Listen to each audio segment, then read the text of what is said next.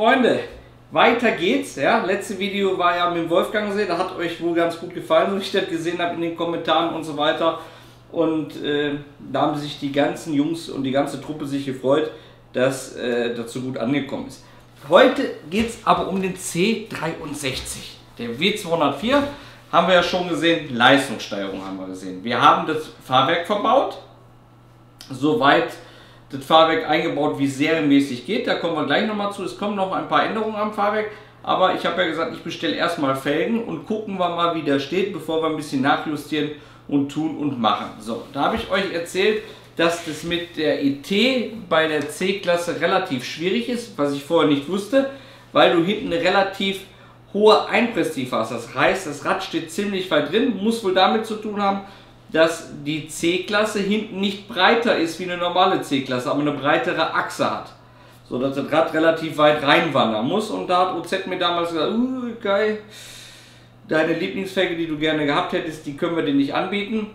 Such dir mal eine andere aus. So, das haben wir gemacht, der Tim und ich haben gemessen und wir haben uns entschieden für die OZ Hyper GT. Kannte ich vorher gar nicht. Im Katalog habe ich so gedacht, hm, hm, okay, wir gucken mal, ja. Hab mir die dann live zeigen lassen und live hat die mir schon sehr gut gefallen und ich muss sagen, jetzt wo die Auto, auf dem Auto drauf ist, Tim, ich finde die Porno auf dem Auto. Wir haben uns bewusst für 19 Zoll entschieden. Serie hatten wir 18 Zoll drauf. Ich wollte gerne 19 Zoll, weil das 18 Zoll Rad mir zu klein ist und diese 5 Speichen AMG-Felge mir eh nicht gefällt. Wollte ich unbedingt eine 19 Zoll, aber keine 20 Zoll weil da die Performance wieder drunter leidet. So, also eine schöne 19 Zoll, mit der Hyper GT haben wir da was gefunden. Jetzt für die AMG-Fahrer, weil halt auch viele fragen nach äh, Einpresstiefe und so weiter. Ich sag's mal eben, wir fahren jetzt vorne eine 8,5 x 19 ET38 mit dem 235 35er Reifen und hinten fahren wir einen 9,5 x 19 ET52 mit 255 30. Sieht gut aus, das gucken wir uns gleich an. Dann habe ich die Felgen inklusive Reifen mal gewogen. Das Original 18 Zoll Rad, 5 Speiche, wiegt mit Reifen vorne eine Felge 22,4 Kilo. Die OZ wiegt vorne mit Reifen im Vergleich 20,4 und jetzt kommt das Geile, die hinteren Felgen sind leichter, die breiteren. Hinten wiegt Serie 21,5 und jetzt glatte 20 Kilogramm. Sprich, wir haben an den ganzen Radsatz jetzt 7 Kilogramm gespart. Das finde ich auch nicht schlecht. Also 7 Kilogramm rotierende Masse weg vom Auto. So, ET haben wir gerade gesagt. Ähm, ich würde sagen, wir gehen uns das jetzt mal kurz angucken, Tim. 9,5 mal 19 hinten. Also vorne 8,5, vorne 9,5. Äh, sieht für mich vorne aus, vor allen Dingen, was mir hinten gefällt. Tim hinten die Felge finde ich noch viel geiler. Weißt du warum?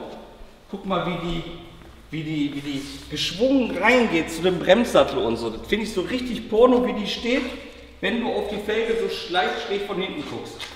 Dieses Konkave nennt sich das, glaube ich. Ja? Aber bevor wir jetzt zum Porn rüberschwenken, weil du hast ja schon ein paar Aufnahmen gerade gemacht, die wir uns dann mal so mit Musik äh, anschauen können. Was ändern wir jetzt am Fahrwerk? Ich werde die Tage nach GS Mechatronics nochmal fahren. Die Jungs haben uns das Fahrwerk eingebaut und die Achsvermessung gemacht. Und denen ist der Sturz hinten zu negativ. Die Räder stehen nicht gerade, die stehen so. Jetzt haben wir uns einstellbare Querlenkerstreben, haben die Jungs besorgt, haben sie wohl auch letzten an einem anderen C63 schon verbaut. Da sagt der Martin, super geiles Fahrfeeling und Fahrverhalten, sodass die Räder gerader kommen. Wir haben mehr Auflagefläche, wir haben mehr Grip und die Reifen fahren nicht so weit ab. Und vorne dasselbe, vorne auch demnächst Sturz einstellbar, weil wir da auch was umbauen so dass wir weniger Sturz fahren. Das soll deutlich besser fahren. Das Auto fährt jetzt wirklich schon Porno. Ich habe zu Martin gesagt, ey, Martin, es reicht. Das Auto fährt mega geil. Und er so, nein Kai, du musst rumkommen, wir haben das super und das ist nochmal zehnmal geiler. Ich mache es einfach und gucke es mir an und sage euch dann, wie mein Eindruck ist, wie das Auto danach nochmal fährt. Weil jetzt ist es wirklich schon bombastisch. Und jetzt habe ich genug gelabert. Ähm, eins noch, es fragen ganz viele, Tim, nach deinem Turbo-Projekt. Tim sein BMW Tour Projekt gibt es noch. Es dauert aber, weil der Tim arbeitet, der Tim hat Freizeit, der Tim hat noch andere Autos und der Tim geht immer nur an den BMW, wenn er Zeit hat, wenn Teile da sind und wenn das Auto rein theoretisch erst in drei Jahren fertig wird, wird er erst in drei Jahren fertig. Der Tim guckt mich jetzt skeptisch an. Ich, ich tue jetzt, übertreibe jetzt einfach mal. Tim, sein Ziel ist zwar anders, aber der Junge hat auch alles neu gemacht an der Karre. Scheiben raus, neue Dichtung, Spiegel neu, Schweller neu, alles Mögliche. Der will darüber keine Videos machen. Der will jetzt im nächsten Video soll das Ding schon mit, mit dem Turbomotor fahren. Sonst hätte ich gesagt, wir machen mal ein Zwischenvideo. Wie auch immer. Ihr braucht also nicht jedes Mal drunter schreiben, was ist damit und abgebrochen und äh, äh, äh, das kommt. Das dauert halt noch. So, und jetzt ein bisschen Porn hier über die Felgen und Fahrwerk. Viel Spaß mit dem 63er AMG.